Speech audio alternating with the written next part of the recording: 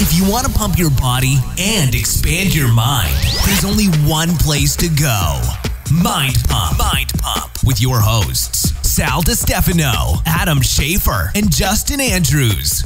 in this super revealing episode Whoa. of Mind Pump. Almost naked. For the first 36 minutes, we do our introductory conversation. Six week contest is over. Oh, Who won? We talk all about it in this episode. Uh, forum members are going to help us figure out the winner. Yeah. Learn all about it. you're not intro. on there, you're missing out. Then we talk about Justin reintroducing foods Yeah. after his diet. He may be reintroducing them too quickly. Too quick. Got to backpedal. Got to backpedal. Uh, he's going to be using the Organifi green juice to get vegetables slowly hmm. back into his system. We are sponsored by Organifi. They do make these single serve packets of green juice, which are amazing for vacation or travel. If you go to Organifi.com forward slash mind pump and enter the code mind pump, you'll get 20% off.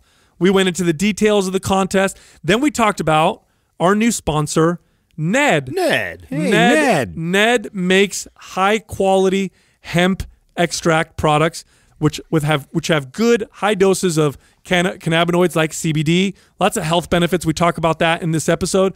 They are again one of our new sponsors. If you go to Hello Ned, that's H E L L O N E D dot com forward slash mind pump, you'll get 15% off your first purchase. Then we get into the questions. The first question was after seeing your transformation results, how the hell did you guys manage to build muscle while losing body fat? I've always thought hmm. that with a calorie deficit, it would be a given to lose size if you aren't a new lifter. Was it magic or was it maps? Listen, we're professionals at the end of the day. Exactly. Find out in this part of this episode. Also, Justin did mention Butcher Box when we were answering that question. Yeah. We're also sponsored by them. If you go to butcherbox.com forward slash mind pump, you'll get free bacon, two ribeyes, $10 off, and free shipping on your first order. It's a no brainer. The next question was Can you explain the difference between focus sessions and trigger sessions? Now, both of these concepts are found in our MAPS programs. We break them down for you so you can kind of use them yourself. You don't even have to enroll in MAPS to take advantage of how effective they can be at getting your body to change, uh, but we kind of break it down. The next question was What are our thoughts on alternative ways to educate children, such as homeschooling? Homeschooling seems to be growing over the past five years, and we have a nice little discussion in that part of this episode. Get hit him with a ruler at home, right? That's right. Yeah. And the final question Do you guys suffer from male PMS? Or do we have any thoughts on this? Apparently, there's something called male. Is this like a real thing or Yeah. is this just some funny question? Does that just- fall under my moody category? Yeah, yeah. yeah, I think so. Yeah. Oh, the real question was: Does Adam suffer? No, I'm just kidding. Yeah. But yeah, do we? What do we think about male moodiness or PMS? Uh, good, good part of the episode. Uh, also, I do want to mention all of our maps, programs, and bundles. You can find all of them at mapsfitnessproducts.com. We also have bundles on there. For example, we have like the sexy athlete bundle, the businessman bundle, RGB still in there. yeah, we have the starter bundle. We have the get shredded fast bundle. There's all these different kind of bundles where we combine multiple maps programs and discount them. New bundles, all kinds of new products. Mm. Mapsfitnessproducts.com. Go check it out. T-shirt time. And it's t-shirt time. Oh yeah. T-shirt time. All right, we have back-to-back busy weeks here on our iTunes. 30 reviews Wow. Hell yeah. and 8 shirts going out. Love it. So the winners are Scott M. Roth, Dad Bod J, Kurth Julie, Lifting My Best Life, Tyler Studer, Andrew Boone, Bad News Kenny 88, and Connor 53. All of you are winners. Send the name I just read to iTunes at mindpumpmedia.com. Send your shirt size, your shipping address, and we'll get that right out to you. Well, contest, Oh. contest is over, boys. Oh, who already did the ma- who did the most damage after the contest? Cont- oh, yeah. Do I even need to say a name? It's me. Did you really? What'd you do? What'd you do? Oh, I hurt myself. Wait a minute. What do you mean? Well, I drank. I drank a lot Saturday, and I told. Actually, I was texting Adam back and forth. It's kind of funny because I was like, "Dude, I'm drinking tonight, bro.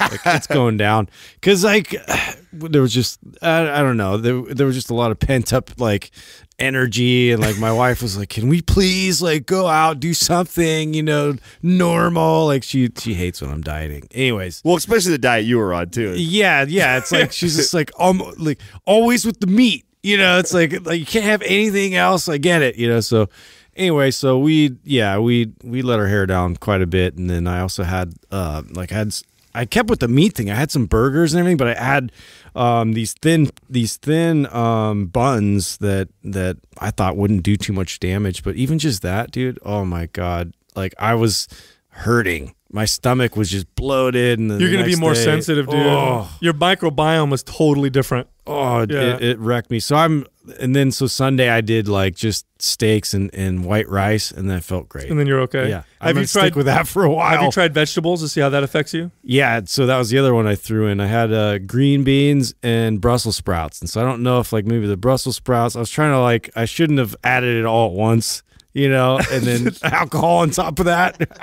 So when you go when you go back, when- Maybe the alcohol fucked I you think up. it's maybe the alcohol. Yeah, maybe So I'll tease that one out. so you're taking off on your trip right now. Do you plan to reintroduce vegetables consistently and so that? Like, what's your plan? Yeah, yeah. So I want to I want to do that because I, I want to go out to eat and experience, um, you know, the the food there and everything. So I'm definitely gonna eat a lot of meat dishes, but yeah, I'm I'm gonna add like uh, vegetables You- for sure. You know what might, might be a good way to slowly do that is uh, the green juice, the Organifi green juice, because it's already pre-digested, you know, Oh, yeah. powder. No, I I was telling you guys like that was Will that be easier on him because it's already it's processed like that? It'll be easier? Theoretically, Oh, really? yeah, because it's it's it's freeze dried and crushed, so it's pre-digested basically. Mm-hmm. Shake it, mix it up in water. It's a small amount. It's not a huge amount of, of vegetables. It might be a it might be a, a way to kind of ease. You know what, that never- makes sense. I have those single packs that they have for the travel packs, so I was already gonna throw that into my suitcase. have you had one at all? No, I haven't. yet? I haven't this oh. whole time. I haven't had any Organifi. So That might be a neat because you mix it, try one of those, wait a few hours, see how you feel, yeah, and see if you're see if you're now, all do we lose any of the fiber because you, it's processed like that? Yeah. H- Like mm-hmm. all of it, or you is lose there, a lot. I think you lose quite a bit of it. I mean, it's it's not. I mean, a packet really represents a small amount of. Mm-hmm. I mean, a, a high amount of nutrient dense it's vegetables, condensed, but yeah, you lose the fiber. a but little it's bit. pre-digested, so Yeah. theoretically it should be easier to you know to to absorb. assimilate. Yeah, I, I I agree. I think that is a smart strategy. I, I think I'm going to do that for sure, and then you know uh, ease my way back into it too, because I know I'm I'm not putting like a whole lot of uh, you know barriers out there food wise and drink wise. Like I'm not going to go crazy, but at the same time, like I'm to be drinking whiskey and you know like I'm when in Rome. You know, like, I- come on, dude. You know, like that was the thing. I was a little worried because this competition and everything uh, was basically led directly up to me like leaving from then. So I was a little worried. Well, what did what you're did coming you? back so fat? I'm just gonna From blow Ireland? up like a fucking uh, Oompa Loompa. Well, you got your nice spray tan ready for your vacation. Uh, you know, I'm, I'll be the tannest. I'm gonna in be the Ireland. tannest guy in Scotland, dude. Just you know, in a kilt and like bronze legs. That's hilarious. Yeah. What what? How much percent did you lose from for the six week contest when we went and did the measure? What was your total Three percentage? at the end? point three percent body you dropped fat loss. 3%, three- yeah, 3.3. yeah. No, uh, I was actually like And your weight didn't change a whole lot. not lot. a whole lot. I thought for sure I was yeah, I thought, heavier going I thought in. you said you were down 15, 20 pounds. and then I remembered I lost weight kind of leading into the competition. Oh, you competition. fucked up. Yeah, You should've gone in there full I shoulda- I didn't. I didn't sandbag at all. Yeah. I already started early like an idiot. So, but yeah, that was that was surprising to me. But I actually was happy about that because I I didn't want to lose like a lot of weight, and I was trying really hard to gain muscle through the experience. Well, I anticipated that was you know I remember I think I called that I anticipated you to to lose a bunch of muscle too. I Oh. thought for sure Justin is going to, especially when you were saying like 15 pounds. Like if he's down 15 pounds, I'm like it's inevitable. yeah. You're gonna lose. but a he was counting what he lost before. Yeah, what I lost before, which was yeah, I was like at about two thirty, but yeah, I'd slowly been Well, losing weight. I don't know, man. I, I'll tell you what the the because we all took pictures, right? We all have these before and afters, and there's six weeks, and so you know there, there's only so much you can do in a six week period.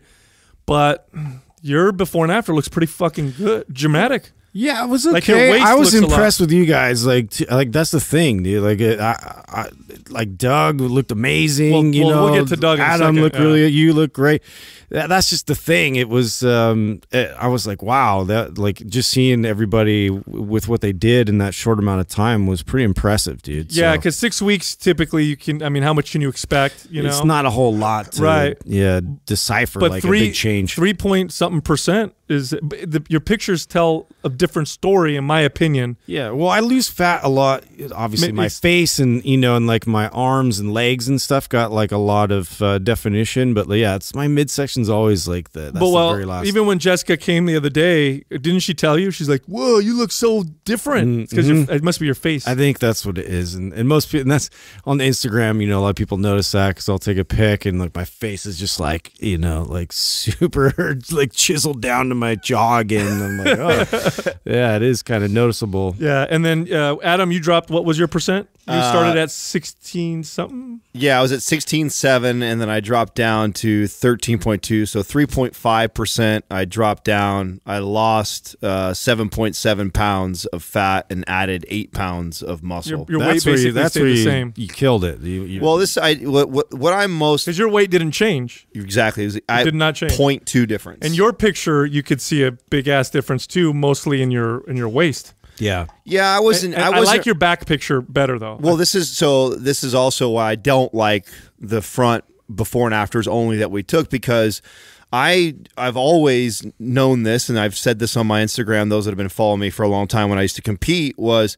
I have a lot of inconsistency on like how much water I'm holding or not, or if I have a pump or I don't on on my front. Like I tend mm-hmm. to that tends to fluctuate a lot.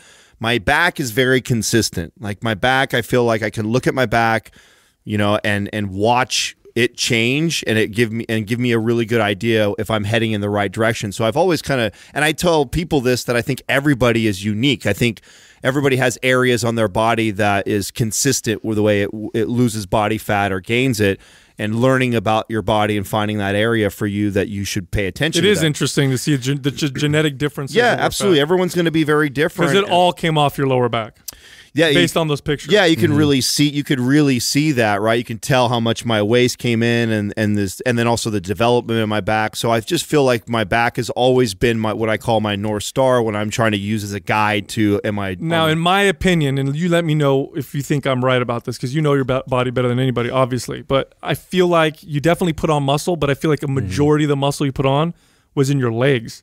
I feel like your upper legs, and I can see, uh, and maybe because before you weren't able to push yourself as hard because your Yeah, Achilles, Achilles. Yeah. your your upper thigh, you gained your whole body gained, but your legs are very different, well, I definitely think that my which you can't see in the before now. Right. I think my legs, uh, for sure, and the reason why that is was because when I was, I got my shoulder hurt, so I had a small, a slight s- setback. I had two small setbacks. Other than that, I think my, if I would treat this like a prep, was flawless. Like I, um, I left no room for error. I calculated everything. I tracked everything. I followed through and executed on my workouts. I increased volume like I was supposed to. Um, I did have a small setback when I got sick for a couple days, and then uh, and then the shoulder injury. What stayed consistent all the way through that was my leg training the most. My leg training, I was able to get after that the most, um, and I was the most consistent with that over my period of time where I was low testosterone. Because bare minimum, uh, I I might not go do a chest day or do an arm day, but I would go squat when I was caring about my hormones, my my legs were something that I would, or at least squatting and deadlifting is what I was doing. So. I think I had a little momentum there already with the legs, so I was able to really scale the volume there. But overall, I mean, it, I mean, it was uh, it was exactly what I expected. What I tried to do. Those that um, and I had a lot of people ask me and DM me about protocol. Maybe you didn't listen to the first episode, but I've I pretty much followed what I said I was going to, uh, not in the order of like. I so I originally said I was going to go two two two, where I'd go two weeks of a cut, two weeks of a bulk, and then two weeks of a cut within that six week period. Um, I didn't do that exactly like that, but I undulated it that way, mm-hmm. right? Where I was kind of focusing for a good five or six days of, of a calorie increase, and then I would go to a, a calorie deficit, and then go to a calorie increase, and I did that over the six week period, and it it it calculated out to about that where I was spending, you know, two weeks mm-hmm. of cutting and then two weeks of of bulking, and that was because I knew that going into this competition that I had no business really trying to just get shredded because I know my metabolism isn't where it should be. Like I'm normally roaring and it has 4,000 calories. I can eat anything less than that, my body loses. I wasn't there. And, and I knew it like the last week. um, You know, I was really frustrated because I could tell when I went to the last, the coming into the last week, when I cranked up the deficit, you know, I was anticipating my body to really drop uh, fast. In fact, I was ready to increase calories back in and, and reintroduce because I was going to drop too fast. Because this is what happens to me when I compete. When I've built my metabolism all the way up and then I start to reduce, I just start to plummet. And it didn't happen. I stalled. My body was staying really the same, and which ended up probably working in my benefit because I held on to muscle really well but my I was sometimes having 2200 or 2400 calories. Which for you is low. very low. Like that's a I would only maybe let one day happen like that where I was running 2 3 days in a mm-hmm. row like that and my body was like barely Yeah. moving. So I know that I'm I was not in a state to be mm. aggressively cutting so I was just as focused on mm. muscle. And, and and then Doug, I I have to say your pictures were Dramatic. probably the of the ones we took from that front. Your your pictures look like a like the ones they put in Genetic advertisements. wise, yeah, genetic wise, his abs are like ridiculous. He had no abs, Yeah. and then you had abs Yeah, in six weeks. he's What- Mr. Ab guy. What did your percent change? Well, according to this, uh, I started at 14.9 and went down to 9.3. Holy shit! That's pretty goddamn. That's goddamn a five good. and a half pound uh, five and a percent. weight Yeah. change. So your body weight went down five and a half pounds total, Yeah. and you went down four. That's a what is that? Four point something percent, 4.9 down to 9.3, so that's over five. over five percent body fat. and loss. you were just consistently running maps anabolic, is what you're telling me, right? Yeah, MAPS anabolic. I did abbreviated full cycle of that, and then I, I kind of interchanged uh, focus sec- sessions with trigger sessions. he was, Now pre- he was pretty much mirroring all my workouts Yeah. You were doing saw- maps. I was copying Adam. I saw- I saw- so he, Adam would do a workout, and then uh, I'd sneak in later and I do the catch same you- one. you would just add weight to the bar. I, I would catch him. I would catch him in the gym. I'm like, I gotta. You know what? This whole competition, I, I wasn't worried about Doug, but I'm worried about Doug. I see him spying on me, man. I see what he's doing. hey, Oh, you know, funny. I learn where I can. Doug, Hey, Doug. Doug, when you say abbreviated, you got a sponge. You have to explain because I think the way you put your program together was very smart. Yeah. Because you had six weeks, but MAPS Anabolic is a a twelve week program, or, Right. Or, or or a nine week program if you just do the first three phases or whatever. So phase one, strength, right? Yeah. So instead of doing the three weeks as it is written, I did two weeks of that. Phase two is hypertrophy. I did the full three week cycle on that. And then the final one is the uh, sarcoplasmic hypertrophy, Mm-hmm. which is the more high rep exercises. Mm-hmm. I did one week of that. This is very, fi- very, very similar to the protocol because I, I, I did the same thing, but I, I'm counting, I'm tracking my volume. So I did the same concept, Mm. Slowly of- inc- ramp it up the whole time, Mhm, just Yeah. like that. Started in like a strength phase for two weeks, and then kind of moved over into a hypertrophy, and then ramped up into supersets at the end. Excellent. Yeah, dude. So Sal, I Well- mean, I got to be honest. Like, you were already looking pretty great, right? Like, it, it. Here's the thing, dude. I didn't know how much change I would actually see, but it did look like you got significantly bigger. You know what made the biggest difference for me was uh, my gut health. Hmm. Hundred percent. I, I- I'm pretty consistent with my diet and, and my. Well, here's the deal. I'm pretty consistent with my workouts. My diet, if it does fluctuate, what ends up happening is I end up eating out more than eating out than eating at home. And w- when I eat out, I try to make good choices. So I still stay away from foods I have intolerances to. I'm still going to eat, you know, vegetables and meats. And if I if I order carbohydrates, it's the gluten free variety. Mm-hmm. The problem, and this was really revealing to me, really, really, because I you guys know I, I I deal with gut issues all the time, and I'm always trying to manage it. And I've been doing those monthly fasts, which made a huge difference, made a, a massive difference. So I already was going into it feeling much better. But this highlights a, a big thing that I need to communicate because we do have a lot of listeners who identify with what I talk about when I say gut issues. And that's this you don't know what oils and things they use when they cook your food. So, what I found is when I ate at home and I ate chicken or steak and rice and the same kinds of foods that I would order when I go out, I still felt way better. Mm-hmm. Like my gut health was way, way better. And so I, I didn't eat out that much at all. Everything I made myself, just because obviously we're in this contest and I want to, you know, I want to make sure I, I do well. Right. So my gut health was very good. As a result of that, my strength and my muscle are increasing, even though I feel like I'm reducing my calories. And it just blew me away. It's just like, God, that has such a fucking big impact on my body. Uh, it's, you know, it's, it's, it's, it's eye opening for me. And so I, I'm just going to eat at home more and more often uh, than I than I have in the past. Um, and of course, uh, it saves money in my, my wallet Yeah, it was well. interesting because Jessica, I was talking to her. She was like, "I've never seen him like so insanely dialed." You know, Mm. as he as you work through this process, I believe it. So yeah, It- I think we all were just kind of in felt that mindset. Felt a lot better. The, the when I first got tested, my I don't remember what my weight was at. It was at two. Uh, no, that 194 and uh, 194 and body fat was at 14, and then I ended at 191, uh, at 191.8, and, and then I ended up with 9.8 percent body fat. Um, that you know the tests we use, we do have to say is because we posted this on the forum, and, and there was a little bit of like, oh, what kind of testing did you use this and that.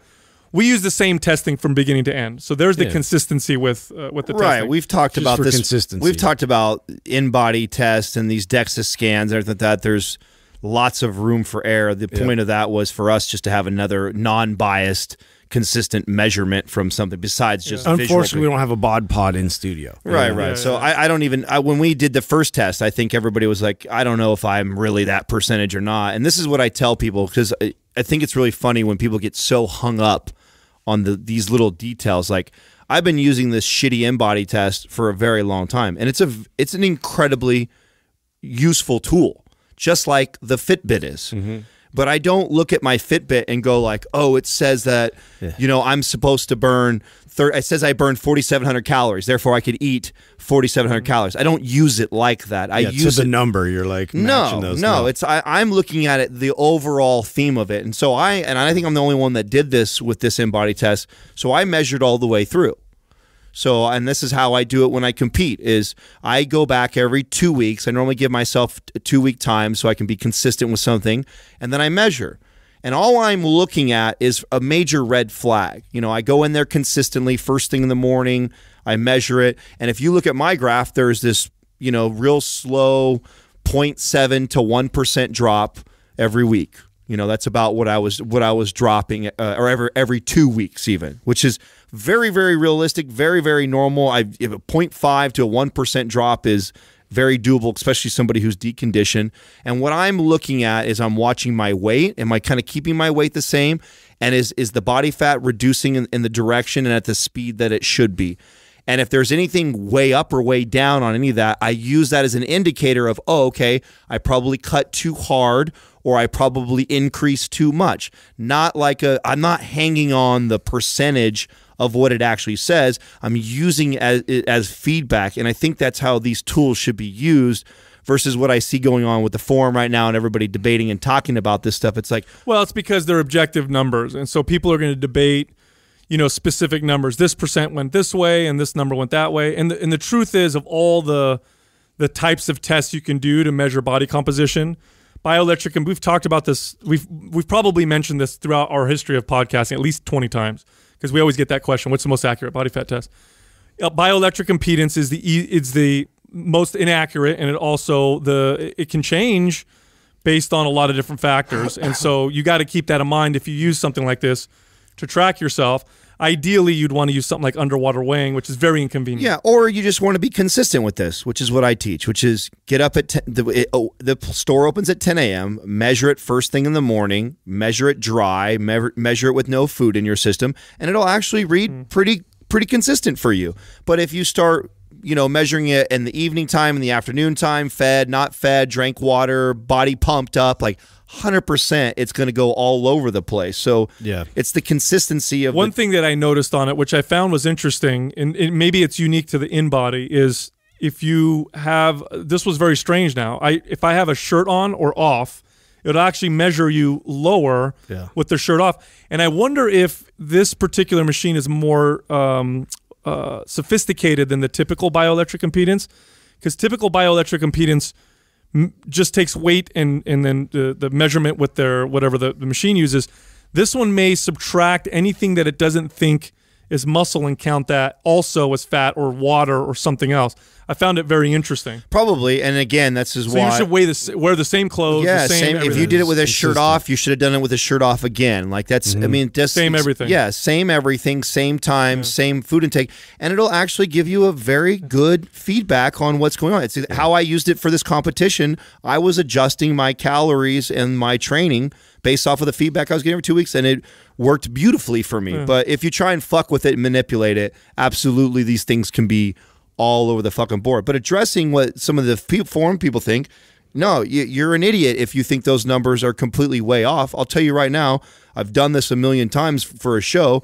The um, the to gain eight pounds of muscle and to lose seven pounds of fat in six weeks sounds crazy, and it would be crazy if you were talking to me after two years into my competing when I was super consistent to do that after that. But to the place that I'm currently at right now, for sure that I expected that. Well, and that's just it. We we got it. I mean, this is an important thing to cover because some of these results, all of them were remarkable, but I think when you look at the circumstances under them, they make perfect sense. And some of the circumstances include, and I hate to say this because I don't want to sound like you know an asshole, but some of the circumstances include, you know, the people doing this have a lot of experience and know exactly which levers to pull and which ones which buttons to push and when you know that and you take it very seriously you can manipulate on a day-to-day basis and get your body to change. Now when you add on top of that going into a contest either deconditioned or maybe not having been worked out consistently or like in my case having my gut health make such a which really shocked me at how big of an impact it had on on just how I felt. Even though I talk about it all the time it's still shocking to experience it. Then you can see some of the results can be relatively typical but it's not as atypical as people think. I've seen clients do this especially beginners when they're really focused and really on point with everything that they're doing especially initially. No, but I, I've told clients this since day one. Like it's very realistic to expect a half a percent of body fat change per week. So when you think of that, a half a percent over six weeks is about three percent. Everybody in here, Everybody was between three to four. three and four is, and you can you can account for that extra one percent for the air of probably taking shirts off and, and trying it multiple times. Like Well, and it just, and I don't know, and the results sort of make a lot of sense to me, anyways, just because of the fact that, like, you can get to the, you know, the minute details of like all those like numbers and factor them in and like really be, you know, detailed on another level versus like I'm, and I know, like, you know, innately, like that wasn't going to be me going into this competition, anyways, because, dude, like, I have way too much other things to manage.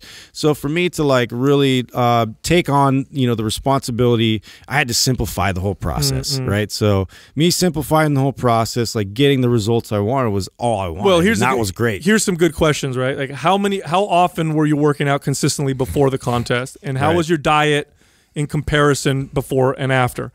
Dramatic, Yeah. dramatic difference. Right. Same thing with Doug's and Adams and pretty much everybody else's. Yeah. So you, you know, you make it's, those. It's the big movers, Yeah, right? yeah, it's yeah. the big mover, but you can tighten those screws even further, which you see with you and Adam, where it's like you you know you can get to fucking fine detailed where it's going to produce an even greater result, and so you know that just makes sense. Yeah, it's pretty. And now we did take pictures, and we're going to put them in the forum, right? So people can kind of see, and I guess they're going to judge. You guys, we all decided they're going to Sure. they're going to tell us who won the contest. Yeah, they're gonna tell us. I mean, I know I won, and then Doug came in second. If, if we were, if we were- I mean, it's, it's well, percent. I it's pretty obvious. It's hard. but- It's hard. Doug's got a pretty dramatic uh, f- uh, different Yeah, photo it's there. though. pretty. I. And percentage wise, he lost a huge percent. Po- total pounds, he's a smaller guy, so that's hard to say. But Yeah. percentage wise, he went down almost But what, number 5%. numbers and pictures, yeah, let the forum uh, decipher that. Yeah, sure. but I'll tell you what, everybody did. Even Enzo, if you look at his before and after, oh, he did great. very impressive. He did great, Seventeen year old kid going to school Yeah. and figuring all that out. So, so if you're not on a forum, sorry. No, it looked. It's. it's. I think. I think overall, I think everybody did exactly what. I, I mean, what I was most impressed with, what I anticipated for all of you, was to lose muscle. It's really difficult for somebody to to to to add muscle and lose body fat. I think it's. Uh, but then again, it's just a testament to the professionalism and the level that everybody's at in this room is to be able to, you know, reduce body fat and increase muscle mass. Well, I, I, was everybody stronger at the end than they were in the beginning? oh yeah, Yeah, yeah, course. so was I. That's crazy. Like to be able to get stronger and get leaner. That is Yeah. the best, absolute Oh, best especially scenario. once I started eating carbs again. I was like, oh shit. and you got that little Oh, power, it was great. power boost of strength. or I plan to continue, just so our audience knows. I'll commit to that. Now right you're reverse dieting. right. So, well, what I would, and I'll tell you what. I- So, and this goes to like the dunking thing, like you know, manipulating this thing. Like I know that if I were to measure now this week, I'm going to measure way better because I can already see in my body. I was I was needing the calories. Mm-hmm. I'm back over 3,000 calories in the, my workout. My physique is all filled Feel out. it's yeah. better. Oh yeah. When I look at the picture that we took, the before and afters, I can tell right away just because how much I've been doing that. I mean, I'm flat. I'm really, really flat. I don't look good at all, and you can tell the way my sh- my front shoulders caved in. And when I when I'm filled completely, you can see my delts come out, my chest, my upper chest comes out. Dude, I don't even know what happened to my before picture. I'm like standing crooked in the first one. The first I'm like, I'm like I leaning in for that one. Then the second one, you're coming at the camera like, Yeah, yeah. I ah. think it fixed all fixed all my imbalances. It just goes to show you how much time and effort they put into the before and afters for a lot of the stuff that they use for It's the same picture, same background. I think I'm even wearing the same think we're all exactly the same yeah, as we were. same stance. So you can actually see for reals, because you know too when you see before and afters on on Yeah. advertisements, there's a lot of trickery. Oh, dude! if I had more shading and you know lighting, that would have helped. you know what I mean? I'm pretty like white, you know, going into it, so it's like it's tough. Yeah, I'm. I I think I'm gonna I'm gonna continue also mainly because I haven't felt this good Yeah. in such a long time, and so I'm just gonna keep not eating out. I can't believe how big of a difference that made. But I mean, I'm so sensitive, and but it's the fucking oils and shit that they must use when they cook. For sure, they're not using quality, high quality ingredients. Of I always not. I always notice a huge difference. That's how like even when I'm when I'm getting ready for a show, there if I if I go eat out, like there's only a certain amount of time that I allow myself to do that in the prep. Like so the first couple weeks uh, I'll follow macros and I'll measure whatever they're feeding me and I'll try and guesstimate. Mm-hmm. But once I get to the final 4 weeks, like I eat everything from home like cuz I need to know exactly what's in there and it always makes a huge difference and it's like See, that's so crazy. They're telling me there's this, this, and that in there, and I'm accounting for it. But then I know right away every time I switch to cooking at home. Dude, I'll tell you what, like, and this isn't like I know we don't have like a sponsor lined up as far as commercial goes for Butcher Box or anything, but literally like this whole entire like six weeks, like I've been living off of it, and it like I felt the healthiest like I had felt in a long time, and like zero heartburn, zero uh grogginess in the morning. Like I was like, you know, had energy, but like you know, the, it was the calories w- which really was the, the challenge for me. Is I I noticed like a substantial drop in performance as far as like not having enough calories, but you know, like reintroducing just rice, like I like I felt like I, I finally was uh, at, at a place I used to feel like in college and before that in high school, where you know I had that kind of um, clean energy and my body was all working, uh, you know, together, and so yeah, I'm not motivated to just go right back in to to, to eating shit and drinking all the time. It- like for me, it's like an like I'm going on vacation. I'm going through this process. I'm not going to get as crazy as you guys probably would think. you want to maintain it. Yeah, I just Yeah. want to. I want to maintain it. Well, all the when you eat out, all the oils that we use, I think that they use are the word like Whole Foods. When you look at the Whole Food, you think, oh, Whole Foods is healthy. Look at their the the oils that they use to make their pre-prep food. It's all canola oil. Yeah. That's very inflammatory in the body, and for for some people, it's not gonna you're not gonna feel very good. Speaking of oils, what's with the the hemp oil you got? dude, we got a studio? new we got a new sponsor.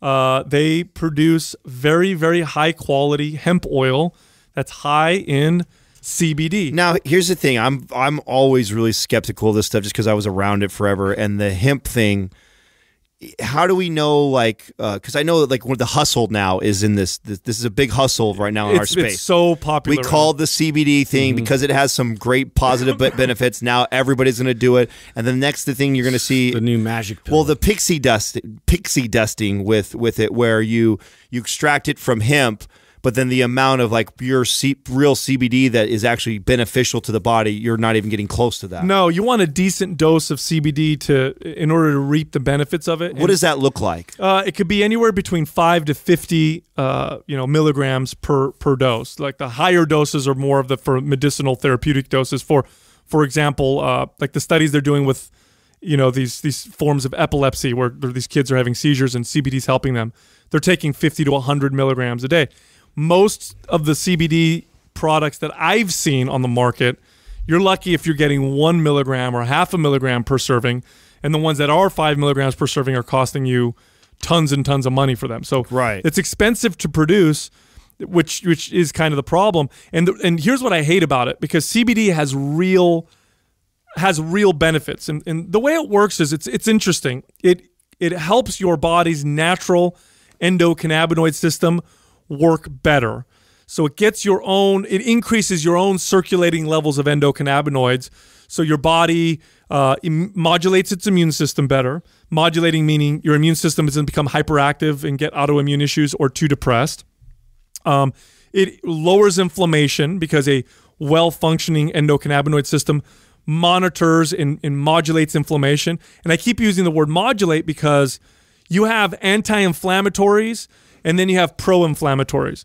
But the reality is you want your body to have to have the appropriate levels of inflammation. If we eliminate inflammation completely out of your body, that's also bad. For Well, example, inflammation is the first signal grow. to adapt, right? you, you have to. So this is why when they do studies on athletes that take uh, like ibuprofen, Ibuprofen, you know, before and during and after their events, they find over time more brittle joints, you know, more injuries and less muscle because you need a certain amount of inflammation to signal the body what to do. It's it's it's necessary. That's why your body makes these inflammatory markers.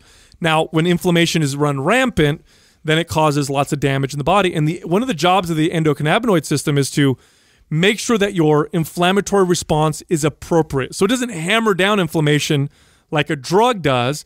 It makes your body, it promotes that that appropriate level so you're healthier. And that's why CBD is so good. And CBD, by the way, doesn't attach to the CB1 or CB2 receptors. It again, it positively affects how your body uses its own endocannabinoids. Now, what company is it that you really like? Because I know you've been you're the one that's been talking to these guys for a long time. I know you were. It's been fucking what six plus Mm-hmm, months. I know you were back and forth, and you wanted to see all kinds of studies, and you wanted to talk to the CEO. Like who is? Ned, Ned Ned is the company that we're going to work with. I got on the phone with the guys. First off, they are very purpose driven, which we everybody we work with, we want to make sure there's purpose driven.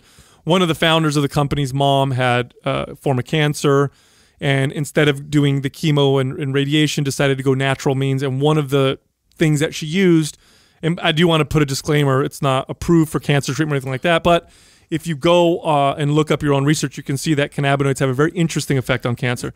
And one of the things that she did was use CBD, and she got remarkable results. And so that's one of the reasons why they created this particular company to produce this high quality CBD products.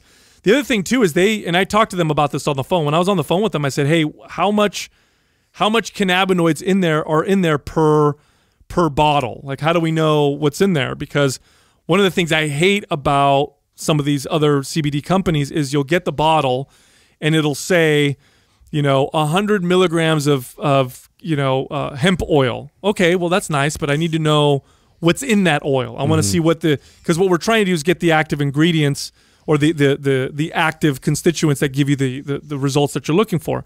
So they've actually broke it down. If you go on their website, which is, uh, I think it's, let me see, what's their website, Doug? Is it, uh, HelloNed. HelloNed.com. forward slash mind pump. Okay, helloned.com forward slash mind pump. You can click on there and it'll tell you how many active cannabinoids are in their bottle. So they have like their small bottle in the total bottle is uh, 252 milligrams of CBD, one full dropper, 10 milligrams of active cannabinoids. Then they have the stronger, the stronger bottle, which is 25 milligrams of active cannabinoids per serving, 630 milligrams of CBD per bottle, and then the strongest one is 50 milligrams of active cannabinoids or 1260 of CBD alone. So they have three different levels of the strength. Yes. Now, now how would you recommend uh, the a consumer that wants to use it? Like, who would use it for what things? So here's the thing: CBD's this new catch thing, this the catchphrase or this new supplement, and you're seeing it in fucking everything.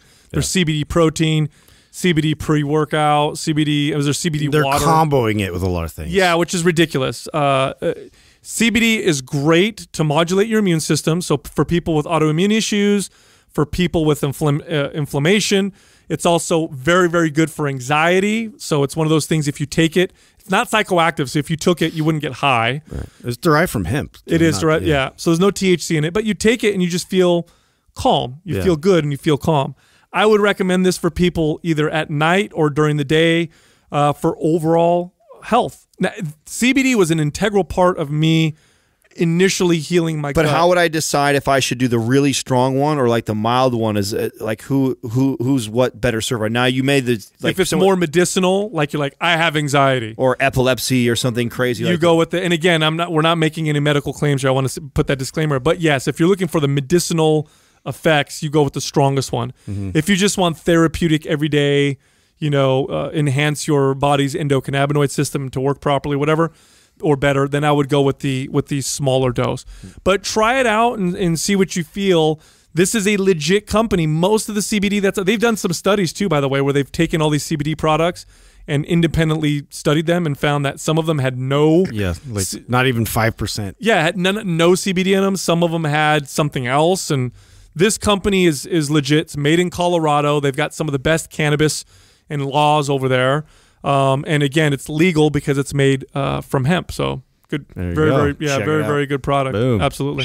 This Quah's brought to you by Organifi. For those days you fall short on getting your organic veggies or whole food nutrition, Organifi fills the gap with laboratory tested certified organic superfoods to help give your health and performance the added edge. Try Organifi totally risk free for 60 days by going to Organifi.com. That's O R G A N I F I.com and use the coupon code MINDPUMP for 20% off at checkout. Our first question is from J. Johnson, 35. After seeing your transformation results, how did you manage to build muscle while losing fat? I've always thought that with a caloric deficit, it would be a given to lose size if you aren't a new lifter. Great question. By the Yeah. listen, if you're uh, you listen to this podcast, this is what I want you to do uh, after you're done listening. Look up the Colorado experiment. This was a this was an experiment that where, where Dr. Arthur Jones, who's the creator of Nautilus equipment, took a bunch of volunteers through his special workout regime to advertise his Nautilus equipment. Now, the reason why I want you, and by the way, this was all videotaped. It was pictures were taken. It was reg- It was like these are real. There was nothing fake about it. But the reason why I want you to look at this is you will see the most insane results you've ever seen in your entire life. And so, so unbelievable that people questioned it for years, but it was all documented. One of the guys in that study, there you go, there's a picture of it. That one of the guys in that study was Casey Viator. Now, in this study, I believe was conducted in the 1970s. Uh, I believe it was. Casey Viator was one of the was the youngest Mr. Universe, I think, or Mr. America um, ever to win. This was a bodybuilding contest that was quite popular back then. So he was a pro bodybuilder. Obviously, great genetics, could build lots of muscle, and he took anabolics. Now, before going into this study, this is this is widely known. Casey stopped working out and got off his gear. So he walked into the study kind of small, goes into the study, deconditioned, lots of muscle memory, gets back on gear. That's the part that's speculated. Some people say he didn't, some people say he did. But he gained an insane amount of muscle in a short period of time. I don't know if Doug, you can find there how much muscle he gained in that short period of time. But that right there was unbelievable there were other people in the study that you could see, and you can see what they did as well because they went in under those types of That's circumstances. this is exactly the situation that I went into with our current competition was knowing that even being a guy who was on anabolics before and is not, could I still go in and make this great of a change? And what what do those numbers say, Doug? His overall mass gain in 28 days, and this is this was documented, was 63 pounds. And I mean, people think this was just insane. Wow. But again, when you're dealing That's- when you're that's dealing with muscle memory and back on some juice, I've seen this personally. I've seen uh, like uh, Kevin Levrone used to get skinny in the off season, and then when you would compete, Yeah, I could- he would blow up. I could totally manipulate. I mean, we what I just did right now was natural. If I was on anabolics, it, it would have been it would have been double that.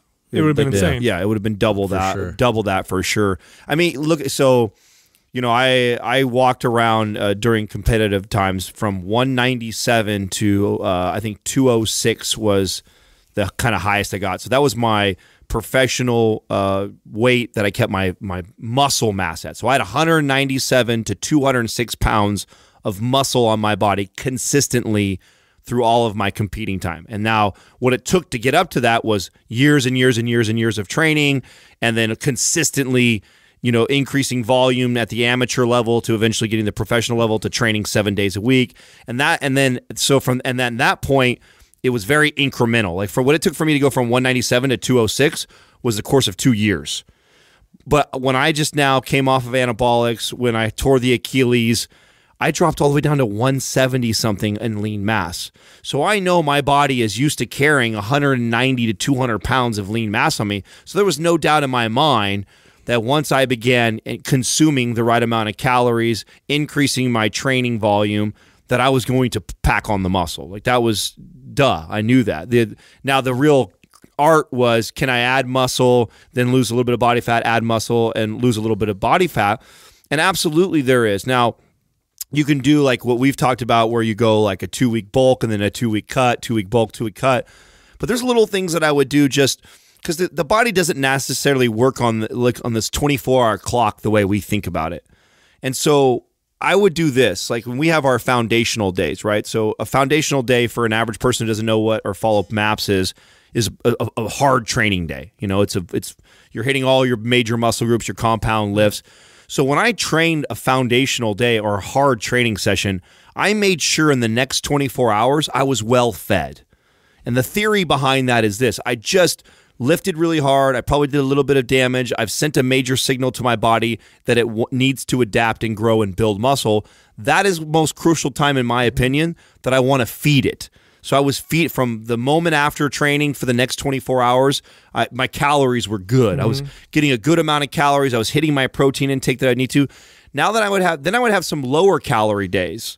If I was going to have a lower calorie day, it would be on a day not after I just did hmm. that. It would be on the second or the third day from a, a hard training session like that, when it when it was probably less likely that my body needed those additional calories. Mm-hmm. So you, and then that's how I would start to lean out. And, it, and it's important to to understand something here. Okay, if if your body wants to lose fat and wants to build muscle, it can happen pretty rapidly.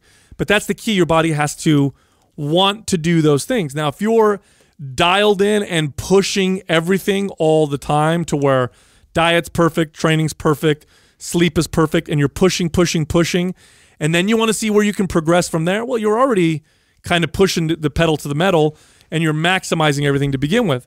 When you're going into something already having lost muscle or maybe not working out like you normally do, your body's waiting and you send that signal and it Yeah. wants to it wants to respond. And look, here's the deal. I'll tell you what, man. Most weight, most lean body mass I've ever gained in my entire life. I gained over 16 pounds over the course of a summer from the age of 15 to 16. Now, why did that happen? Well, I trained really hard, but I was also going through fucking puberty and my mm-hmm. body wanted to gain muscle. So results can be quite dramatic if you see where you're starting from and then where you're going. The other thing too is a lot of times when people apply nutrition and exercise, the nutrition at the the training isn't perfect because most people don't have you know 15 or 20 years of training under their belt or train themselves.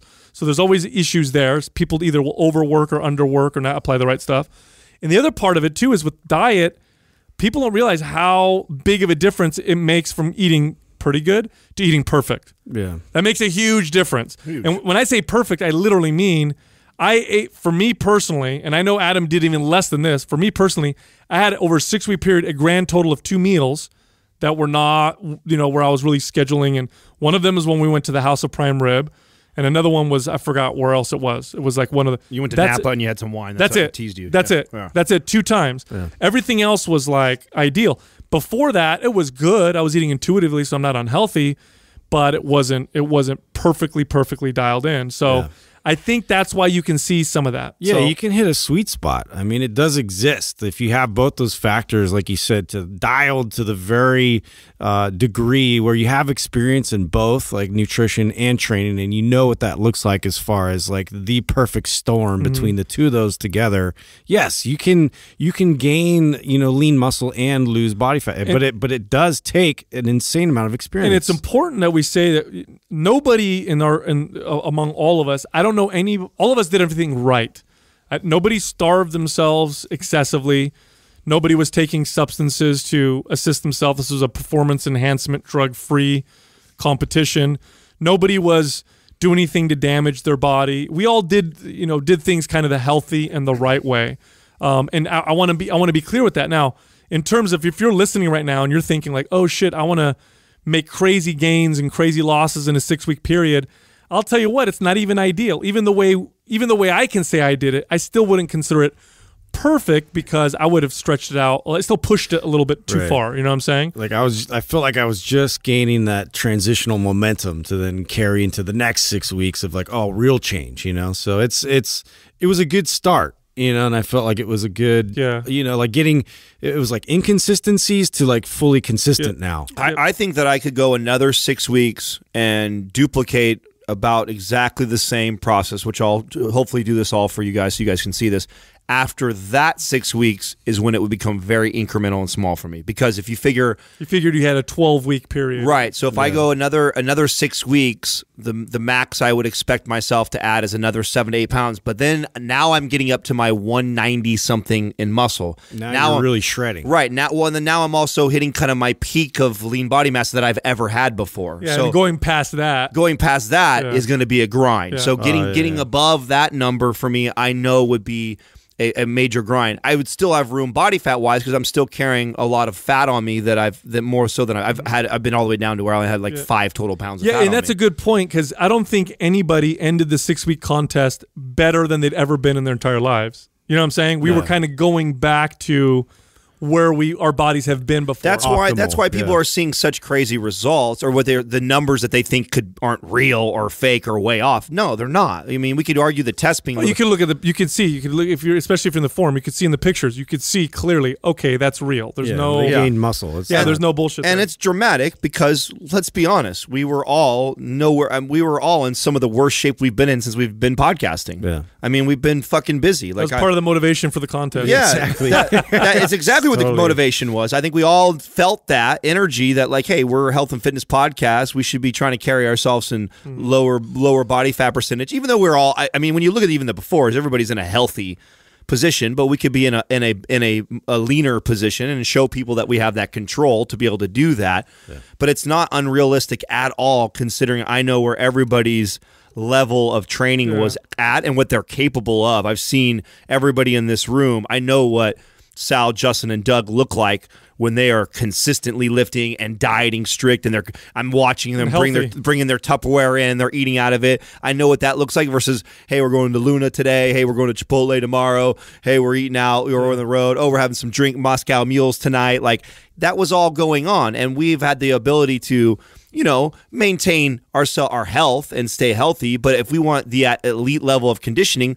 We know the exact steps it takes to get there, and we all Well, did I'll, that. I'll tell know? you, for me, one of the, again, I'm going to say, just reiterate that what, what an eye opener because you know I was, I, I'm always pretty consistent with my workouts. I never really stopped them. They were always pretty consistent, and my diet's always pretty good. It's not the best, but we're really surprised. And I know when I went into it, I thought, okay, this is going to be difficult for me because I can't ramp my training up too much. I'm already training pretty good. What do I do?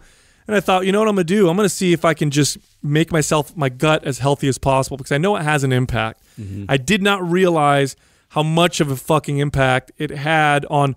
And now here's the thing that really shocked me. Yes, my body changed. I got leaner. I built a little bit of muscle. I was stronger at the end of it than I was going into it and all that stuff. What really shocked me the most was my my mental capacity. I felt during that six week period of time, I produced and wrote more content than I had in the previous six months. And part of that is just when you're healthy, or at least in my case, when I'm healthy, I feel sharper. I feel smarter. Mm-hmm. I, I don't have as much anxiety. I feel way, way better. And it's just it it just strengthens what I preach all the oh, time. I had no more lulls, man. Yeah. Like I'd come home and I it's not like a uh like you get that sort of lull when you're done from the day and I just kept going, man. I had this like crazy energy all day Bro, long. what a lesson. I mean, here's the deal. We all spent more time on our workouts and more time figuring out our diets than we did before. Yeah. But we were also more productive Yeah, I mean, you as a result of it. You say it all the time. I mean, it's it's uh, you know, you get back. You, I think you really do. You get another 10x because you do that. I really do believe it's it's crazy that when you make yourself, you know, get up extra early to get that workout in, or take the extra time to prepare the meals for the next two or three days. And then make sure you get the workout in consistently. It's amazing how that bleeds over into every other aspect of mm-hmm. your life. I mean, I mean, I'm in a better mood with my relationship. I sleep better. I get I pop out of bed better. Mm. When I work, I'm more productive because I'm making sure that my steps are up and I'm staying movement and active. I get more shit done around the house, you know what I'm saying? Dude, I got five massive projects done on the house. right. And I mean five? Five. That's five more than Fixed I've, the I think I roof, did yeah, my, whole the life. tree house. Like, oh my god, I was going crazy. yeah, dude. I loved it. Beautiful. Next question is from Godzilla 11112. Can you explain the difference between focus sessions versus trigger sessions and whether they are interchangeable within a program? Hmm. You know, the beauty of one of the beauties of the MAPS programs is when we create them and write them out for people, you definitely can Get freedom. Yeah, you definitely can and should follow them as they're laid out for your first time. But we not only allow, we encourage people to modify them based on their own individual bodies. I mean, look at Doug did exactly that on this, right? Exactly. Yeah. Doug took a program. He knew he had six weeks to get in shape. He knows how well he responds to MAPS anabolic phase one, so he started right there. He and then he scaled and then he changed out of it two weeks, so he left it. He left anabolic one or phase one early. You know, thinking trying to plan out his whole six weeks.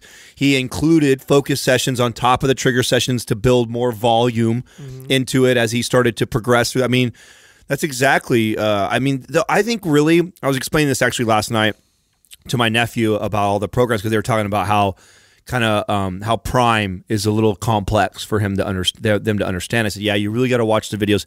I said, well, really, when we designed a lot of these programs, they really were to educate trainers on how to be better trainers. I mean, when you think about it, like. Yeah.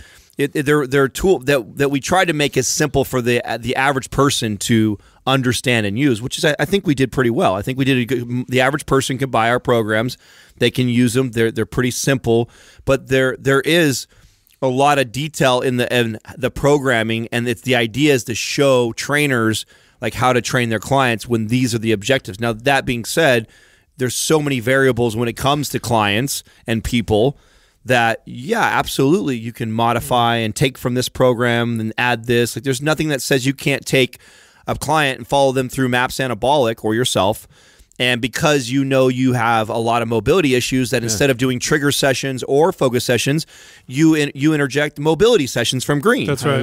know. I was actually going to use that same example because I've done that before. You know, with some people I've helped out, and you know they they're in a place where they can lift weights, but they still have like these these pending aches, pains, or like a like like they need to make sure that they apply a lot of these mobility moves to reinforce their joints. And so what a great you know place to interject you know mobility sessions or even you know with our prime program establish that you know going into uh you know the, the lifts. Like here's your ritual that you do on the off hours so before you get to the gym. So there's a lot of interchangeable uh, ways to apply a lot of our concepts. Well, this this this week, what one of the things I did was I ran a maps aesthetic type of style. One day, uh, one of my, you know, so you, you have your three major foundational days, and I was in the gym every single day. But one day was a mobility day, which would have been pulled from like a green. One day was a band day at, using bands at home, which would be like a trigger session, and then another day was inside here doing focus sessions. So you, I mean, I took a piece from every one of the programs and kind of blend them. That's why I, I think when we talk about our programs, none of us follow a single program to the exact T all the time. We're always pulling from all of Yeah. them to create. Well, I think uh, to answer this the question specifically, uh, so trigger sessions are lower intensity than focus sessions, and focus sessions are low intensity, lower intensity than a your actual foundational workout. So your foundational workouts are your hard, heavy. Your th- these are the workouts that are building the base. It's really the Compound meat and movements. potato, yeah, meat and potatoes of your workout. Focus sessions are used in between those to work on special areas. It's a lower Yeah, muscle intensity development like specifically Isolation you're exercises. Yeah, and you're you're getting a pump. You want to try and squeeze the muscle out. You're not trying to hammer the shit out of a muscle, but really just add volume. Trigger sessions are even lower intensity than that, and really the goal of a trigger session is to give yourself kind of this full body pump and send this full body muscle building signal that's very faint, but that's enough to maintain the loud muscle building signal that you may have sent the day before with your heavy foundational workouts. Trigger sessions are done far more frequently. So typically, I'll recommend someone do tr- three trigger sessions a day on their non foundational workout days. Focus sessions, because they're a little bit more intense, you're only doing one of those a day on your non foundational workout days. Everybody has their favorites. I think they're all a little different. Me personally, I love trigger sessions. Nothing gets my body to build muscle like trigger sessions. But that being said, I could probably use uh, more mobility sessions because that's an area that I always need to work on and I tend to neglect because I don't find it as fun and exciting as getting a pump like I would with trigger sessions. But nonetheless, all of these these frequency builders that we plug into all of our programs are really designed to augment and amplify the foundational workouts of your maps programs. And if you take them out, if you took focus sessions out, or you took trigger sessions out, or mobility sessions out, and you just did the the foundational workouts, you'd still get great results. You'd still get very good results, but you would be you'll blown away when you include those frequency builders. And the reason why I'm saying that is I, I oftentimes will get people who will tell me, "Oh, I did MAPS anabolic and it was freaking awesome, and I got great strength." And I'll ask them, "How many trigger sessions did you do on your off days?" I'm like, "Oh." I did one, maybe one, and I'll tell them, do it again, but this time do three trigger sessions a day. Let me know what happens. They're always blown away, completely blown away. So it's not something you want to skip out of the program just because it's not the meat and potatoes. It literally is the turbo that you're slapping on your V8 that you created with your foundational workout. So make sure you combine everything to get the maximum results. Next up is Evolve Fitness. What are your thoughts on alternative ways to educate children, such as homeschooling? Love it. Yeah. Absolutely love it. You know, homeschooling is has exploded over the past 10 years in this country. Oh, makes sense. It's growing tremendously. And part of the reason for that, I think, is the availability of uh, of education tools.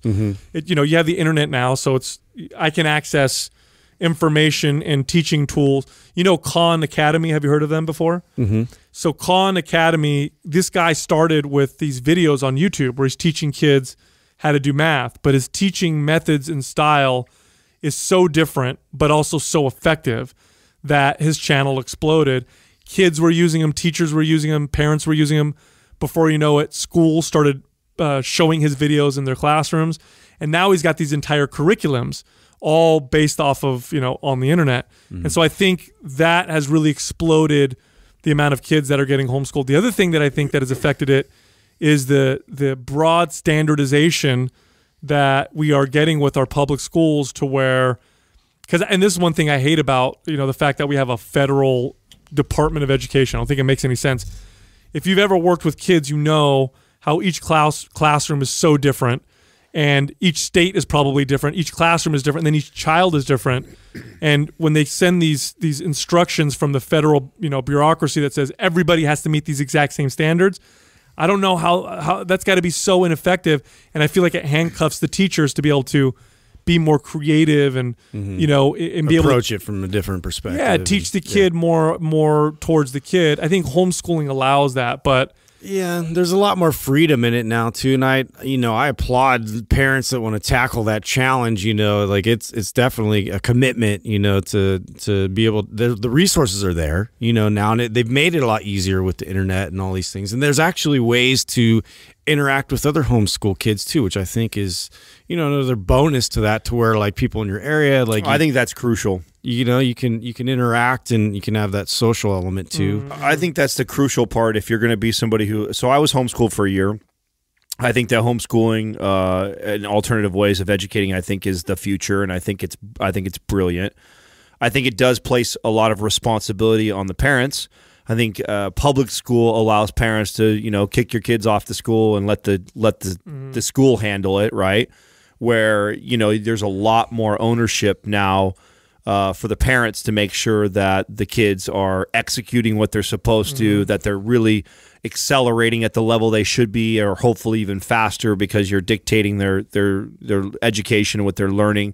And then there's the piece that Justin just brought out that I think is if there's a pitfall in homeschooling, uh, at least it was when I was a kid, is the the lack of social experiences that you can have. Now, the argument that people will make is that they, like Justin said, there's these, you know, now these meetups and these things they can do. it's actually to- quite well organized now. right. So you can you can interact, but I think nothing will ever trump that ability to, or from a social standpoint. So that let, I think that is you, necessary that you do that to that kid because then he's, if not, you're setting him or her up to be socially awkward without having them interact more often. But you know, there's something to be said about going to classrooms with multiple kids and the environment and working around that that I think is is positive. And I think that's the one drawback of homeschool is you lose a lot of that. Even though they've done a great job of incorporating it it's still not at the level that a kid would be hmm. doing. Well, here, here's my opinion on it because I had so I had clients who were homes they homeschooled their kid and they are advocates for it, and so I used to ask them these questions all the time. Mm-hmm.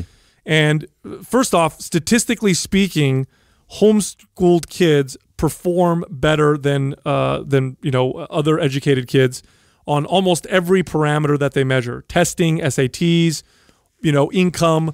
They all perform much better. Now, a lot of there was a lot of pushback when these studies came out because they've had done, done several of them, and they said, well, there's self selection bias. Homeschool kids tend to be wealthier, which is true, um, and maybe have you know more access to certain things.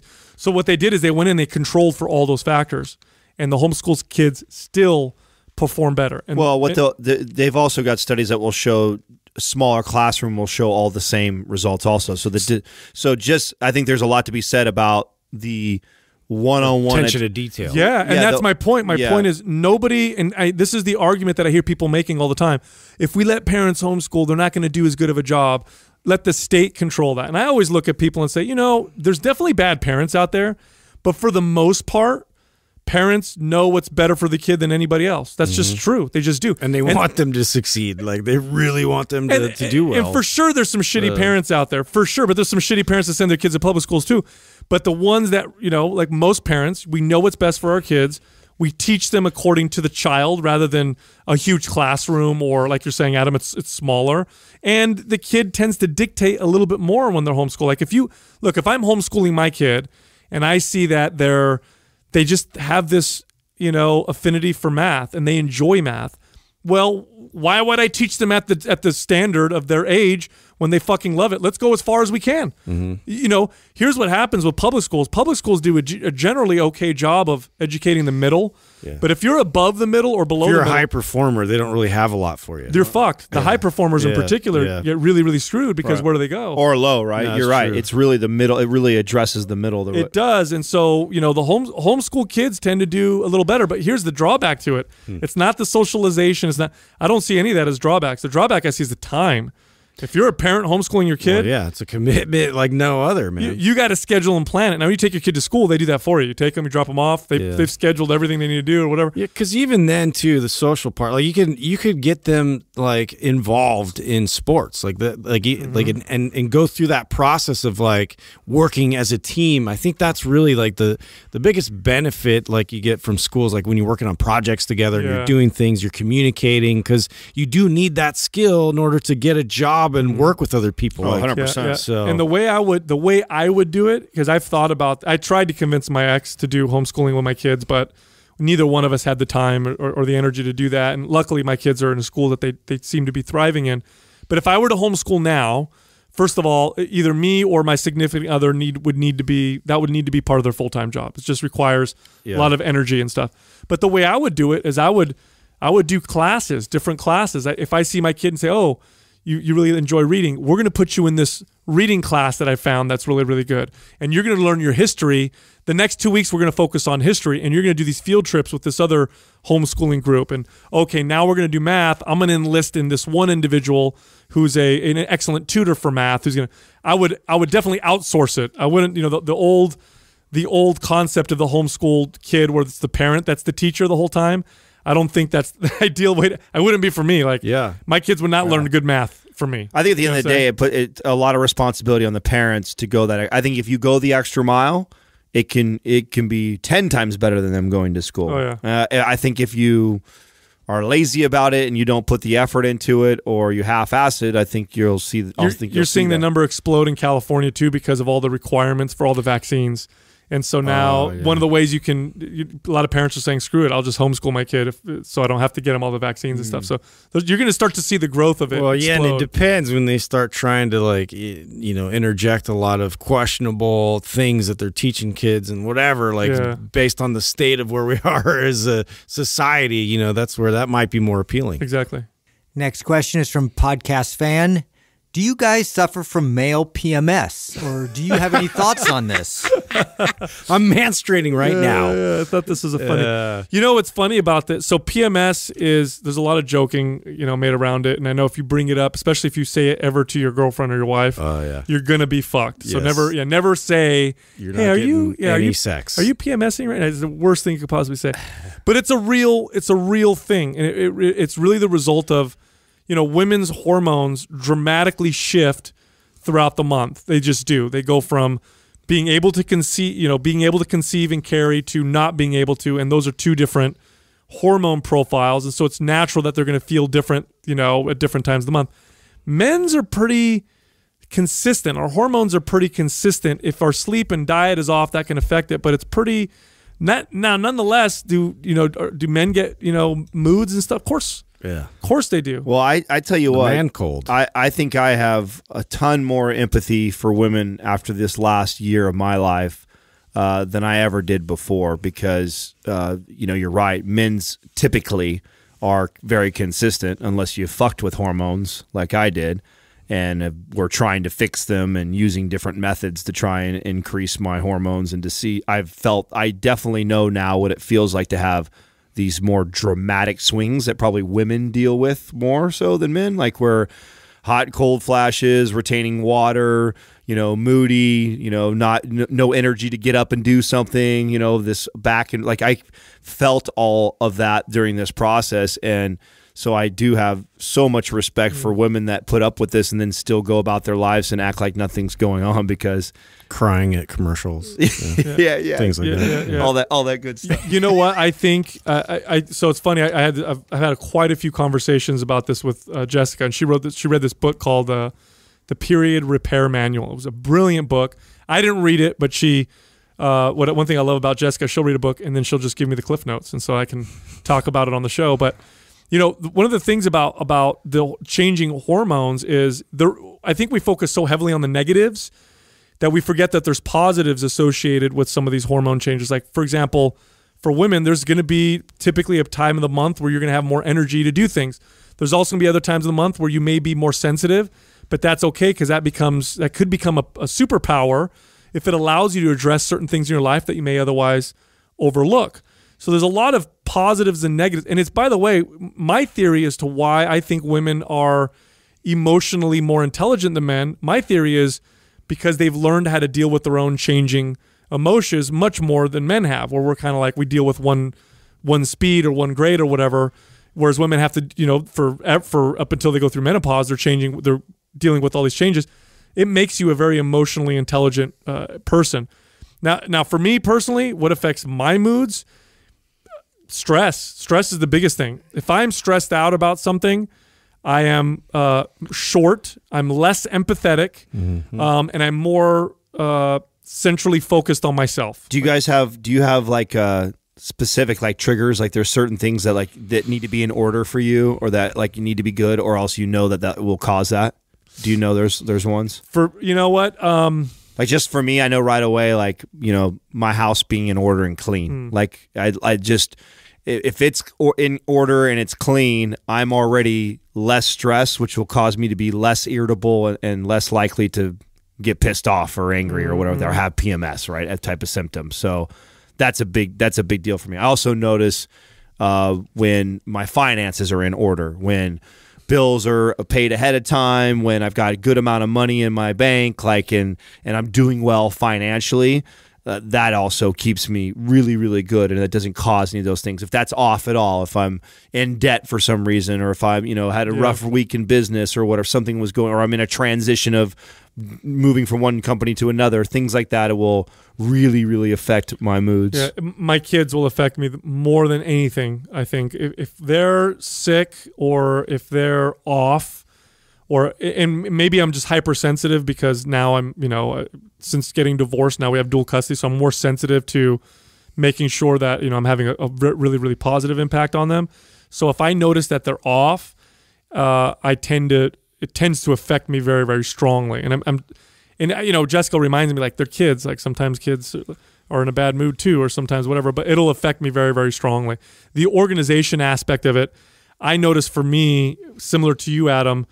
Um, it's there. Uh, if I'm anxious, if I start cleaning, it feels relieving to me. Like if I see things are out and I start organizing and cleaning, I start to feel Mm-hmm. Yeah, a I little do bit. all the time. Do you really? Yeah, like I I have to. Like I have to do something. You know, like if I feel like this this buildup of stress and anxiety, like I'm okay, I'm doing things and like things that like contribute towards uh, the overall well being. Like for me, I get very affected by my unfortunately because Courtney's always just so frustrated with me because I get really affected by her mood. So depending on how like her level of stress ramps up that affects me and then i project it right back on her instead of helping her to bring it down so I, i'm guilty of that like we actually had a big fight about that this weekend um, because it, it's I don't come from a place initially of like, oh my god, how can I help? and like you know like uh, acknowledge you know what you're you're you're getting like upset about and crazy about. It's more like I'm meeting that and then oh shit like i gotta come back and, and pick the pieces back up.